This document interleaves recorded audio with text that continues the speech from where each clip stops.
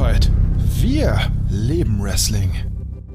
Triple H kritisiert Fans in einem Media Call hat Triple H starke Kritik an dem Verhalten der WWE-Fans geübt.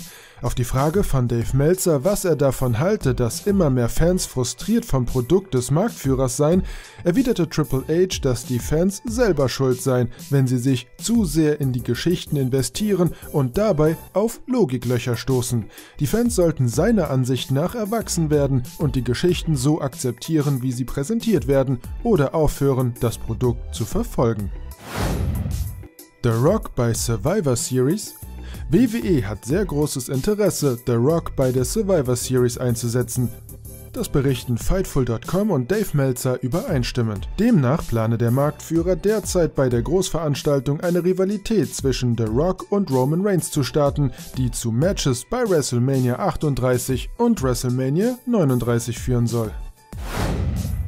Ex-WWE-Stars vor Wechsel zu AEW. Alistair Black, nun aktiv unter dem Namen Tommy Ant, steht kurz vor einer Unterschrift bei All Elite Wrestling. Dies vermelden Sports Kida und Ringside News. Zwar war der Deal noch nicht in trockenen Tüchern, jedoch laufen die Verhandlungen zwischen dem Niederländer und Tony Khan auf Hochtouren und es soll nur noch um kleine Modalitäten gehen, bevor in den nächsten Tagen die Unterschrift erfolgen soll. Neben Alistair Black könnte auch Braun Strowman bald für AEW antreten. So gab Mark Henry in einem Interview mit TM TMZ bekannt, dass es ein beiderseitiges Interesse an einer Zusammenarbeit zwischen Strowman und der Promotion geben soll. Allerdings sollen mögliche Vertragsgespräche erst nach dem Auslaufen der 90-tägigen Non-Compete-Klausel Strowmans beginnen. Weitere Entlassungen bei WWE?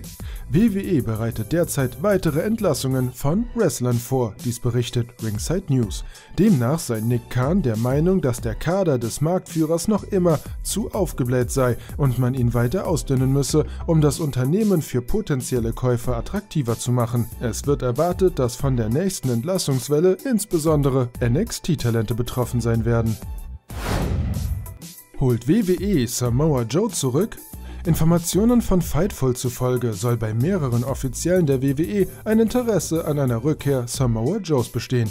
So soll aktuell diskutiert werden, Joe als Teil des NXT-Rosters zurückzubringen. Dabei würde dieser wieder als aktiver Wrestler und nicht als Teil des Kommentatorenteams eingeplant werden.